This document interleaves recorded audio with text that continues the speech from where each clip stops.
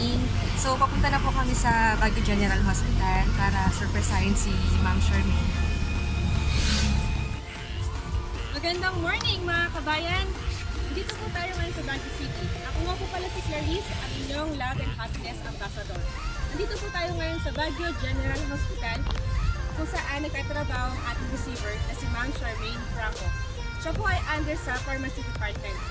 Ang ating pong love center ay si Sir, Fra- Sir Roger Concepcion na isang OFW from Ilan.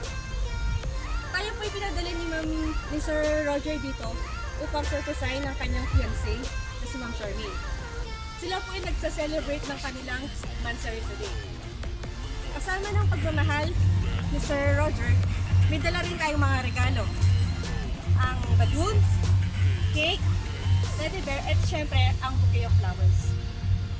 Tara po, samahan niyo ako, surprisein na natin siya. Ayan po, mapunta na po tayo sa pharmacy. Medyo maulan lang po talaga ngayon. We get that fresh glaze on the D-Lo.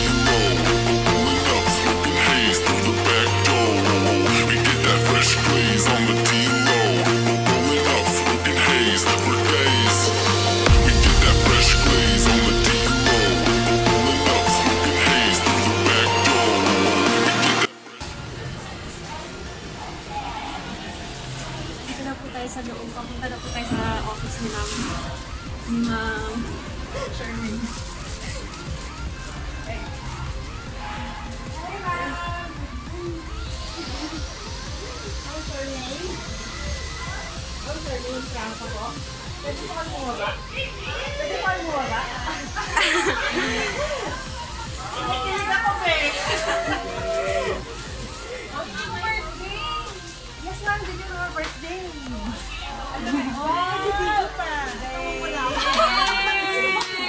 Yan yung sinasabi ko eh. Ah, good morning po. Ako po si Clarice, ang Love and Happiness Ambassador ng Gifts for Everyone dito sa Baguio City. Ah, ma'am, may- meron ka po bang idea kung sino yung pagdala nito mga regalo? Sino po? Ano, Pascual ba? pwede, pwede ma'am.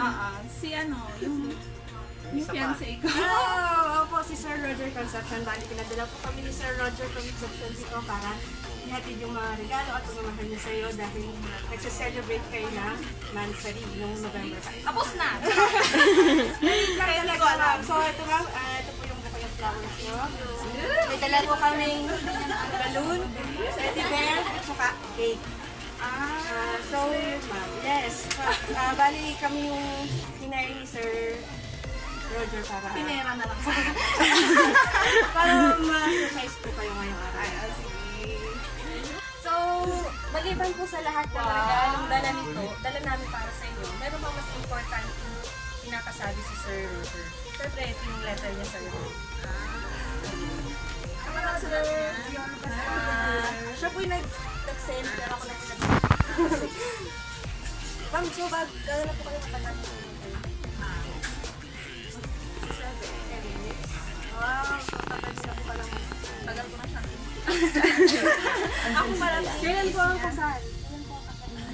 Baka sa, ay, sa 21. Wow, malapit tayo sa konting days na lang. So, ito na po, babasahin ko na po yung letter ni Sir Roger kay Ma'am Shermaine. Baby, thank you for loving me. You know me, you know how I get. You know my good, my bad, my handsome, and my horrible. You've seen me fight. You've seen me fall. You've seen me get back up. I cannot promise that I will always leave. But I will do my best and pray my best is to do that. And this is what I know. For sure, I will kiss you often. I will appreciate you always. Sorry, naiiyak na ko si Ma'am Sherman. I will live gratefully because of you. Baby, happy Mansari mo na lang ako lari ako sa Roger Amat. Sige. Nag, voice naman. Nagpapasalamat ako kasi ikaw ang binigay sa akin ng Diyos. Oh. Sorry sa ginawa ko sa'yo. Inaamin ko na marami akong pagkukulang at kasinungalingan na ginawa sa'yo. Sana kalimutan mo na mga nangyari. At kung ano man hindi natin pagkakaunawaan, sana pagkakaunawaan Salamat sa tulong mo sa akin at sa sa aking pamilya. Anumang pagsubok ang ang dumating sa atin, huwag tayo susuko. Kasi natatakot akong mawala ka sa akin. mahal na mahal, mahal na mahal na mahal kita, Becky. Love you. Gifts and words of love from Riyadh, Pilipinas. Lovingly yours, Roger.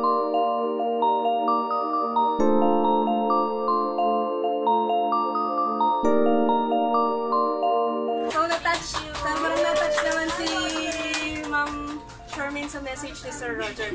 So, Sir, uh, any message na lang po kay Sir Roger. Ha? Message? Ano? Papakabait ka lagi. Kasi pasaway eh. Pasaway eh.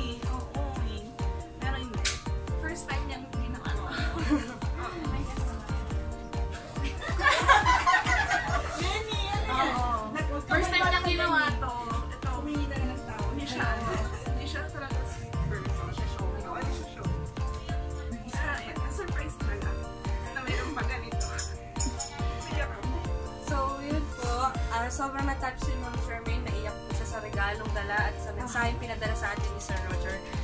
Ah, so, ito po yung cake. Nakalagay, Happy Mansari Baby. Ah, so, ma'am, ito po yung cake nyo. Oh, sana bago nyo i-blow yung cake, ah, mag-wish ka muna sa mansari mo and sa para sa nalalapit yung kasal. Matagal pa. Kahit hindi allowed. Ay, hindi. Oh.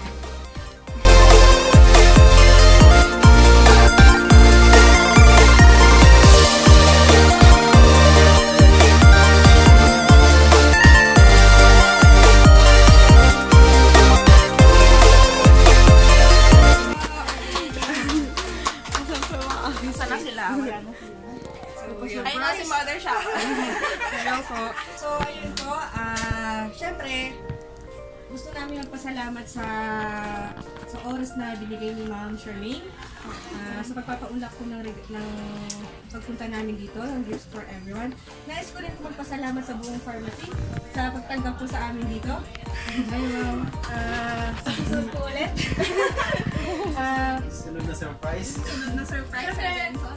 Ah, Ma'am Charmaine, ah, any last message for your boyfriend? Thank you. Thank you, thank Ang you. haba.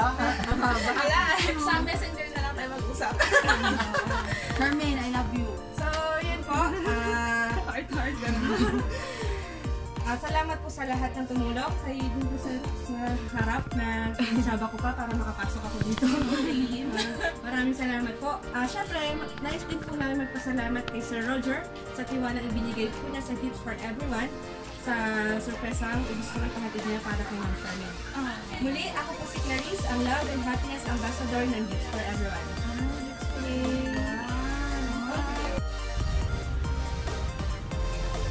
So, y- ayan po, isa na naman pong kapamilya natin ang ating nakatiran ng sorpresa at pagmamahal dito sa Pilipinas. At yun po ay si Ma'am Charmaine Franco, ang ating receiver, ah, galing sa kanyang boyfriend na si Sir Roger Concepcion. Siyempre, nais namin magpasalamat kay Ma'am Charmaine Franco sa magpapaunlak ng sorpresang dala namin sa kanya at sa pharmacy department na talagang nakisama at sumali sa aming sorpresa para kay Ma'am Charmaine. Siyempre, hindi po matatapos ang araw na ito o ang ang sorpresang ito na hindi kami nagpapasalamat kay Sir Roger Concepcion na isang OFW from Riyadh. Sir, maraming maraming salamat po sa tiwalang ibinigay niyo sa Tips for Everyone. Sa lahat po ng gustong magpaabot ng kanilang pagmamahal, regalo, regalo, sorpresa sa kanilang mga kapamilya, di lamang po galing sa abroad or kundi pati na rin po dito sa Pilipinas, maaari niyo po kami maaari niyo po i-visit ang aming Facebook page, Gifts for Everyone. At amin po namin kayong tutulungan. Muli, ako po si Clarice, ang Love and Happiness Ambassador ng